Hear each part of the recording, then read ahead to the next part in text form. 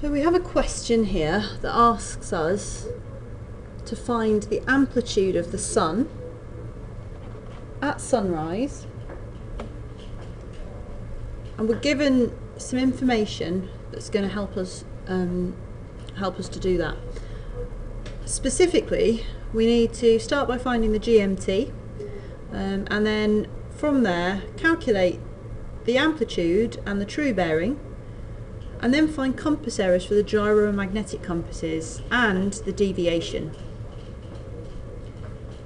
The information we're given um, includes the date, the 12th of March 1977, the latitude of 47 degrees 3.1 south, and the longitude of 025 17.8 west. So we're in a southerly latitude, 47 3.1, and we're in a westerly longitude of 025 17.8.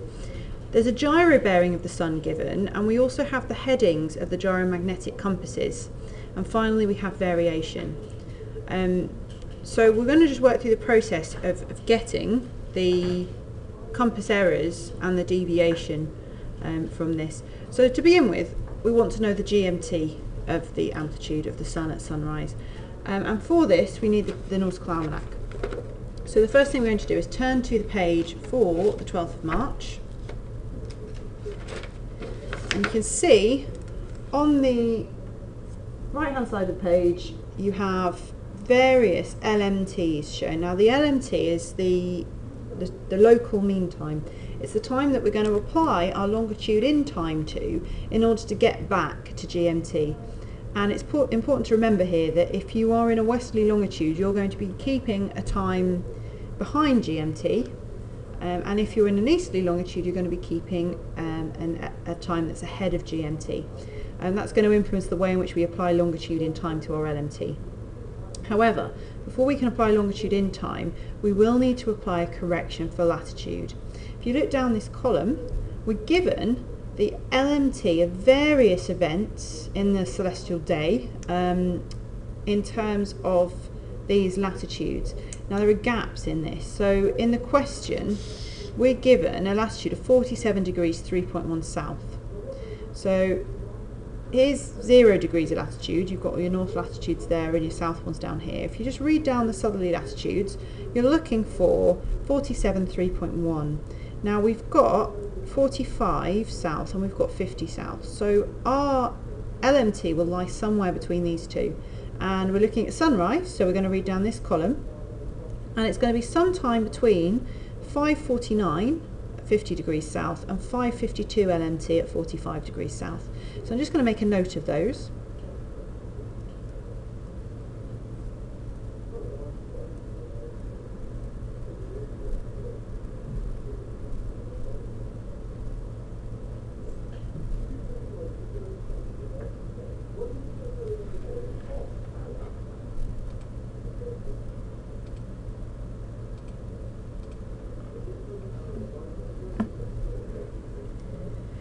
Now in order to find the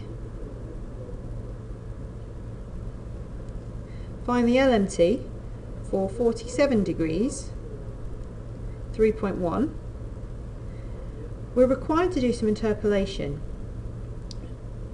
In this case a linear interpolation so your, your basic method of interpolation finding this gap um, and this gap and dividing the smaller figure by the larger figure and multiplying it by the gap between these two and then applying the result to the time for the earlier time. A straightforward linear interpolation isn't going to get you a totally accurate result. The Earth is curved and the change in the time or the LMT of sunrise with latitude isn't perfectly steady. So in the almanac there's a table that enables us to work out this gap um, using a method of interpolation that isn't quite um, like the one that we normally use.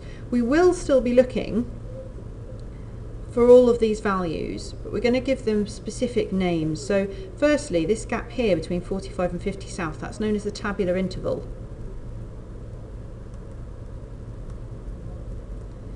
And in this case, that is equal to 5 degrees.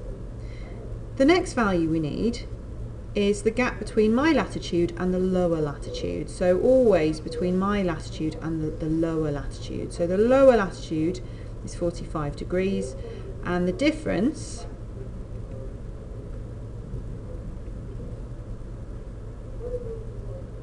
in this case is 2 degrees 03.1 minutes. So that's the difference. The final item that we need here is the difference in time. So here from 5.49 to 5.52 we've got a three minute difference.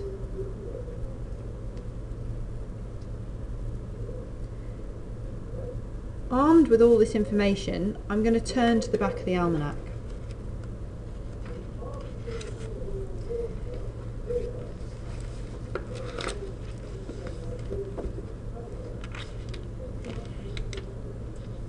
So you're looking at page 32 at the back of the almanac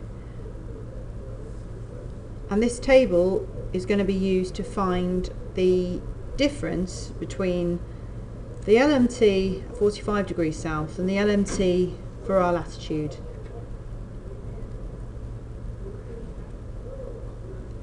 Um, the difference between um, these two, the tabular interval, is where I'm going to enter the table. I'm going to enter the table at 5 degrees. And I'm going to read down that column until I find the difference between my latitude and the lower latitude.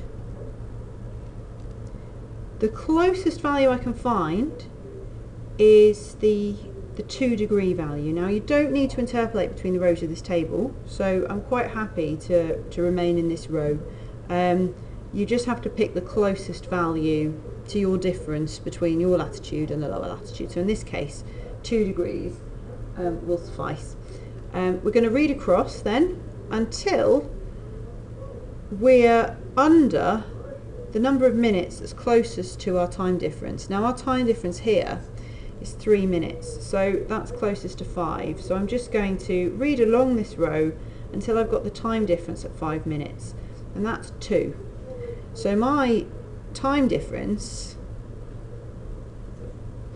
you might see this referred to as the increment, um, is two minutes. And I'm going to apply that two minute difference to the time for the lower latitude. Now this is earlier, um, at 50 degrees south, the time of sunrise is actually earlier than the LMT 45 degrees south. So I'm going to be subtracting that two minutes.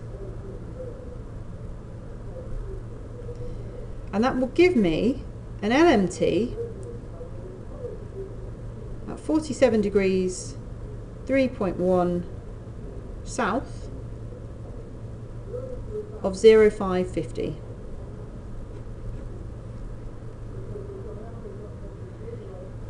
This can now form the basis of my calculation of GMT. In order to find GMT from an LMT, we have to find the longitude in time. And we do this by dividing our longitude by 15. So we take 25 degrees 17.8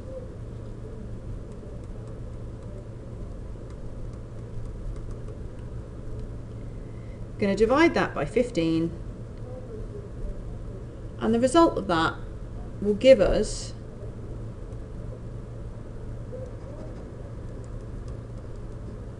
an hour and 41 minutes so in your calculator 25 degrees, 17.8 divided by 15 and that answer actually comes out in degrees, minutes and seconds um, which equate to hours, minutes and seconds. So you can see that an hour and 41 minutes um, is our LIT.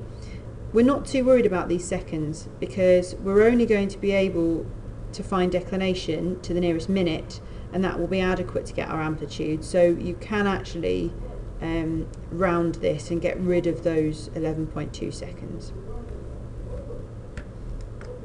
So our longitude in time is 0141 and because it's a westerly longitude we're going to add that on. Remember the GMT we would expect to be later than our local time because we're in the western hemisphere um, so the time will tend to be um, the time will be behind that in Greenwich. So I'm actually going to add that on in order to get GMT. And as a result, I get a GMT of 0731.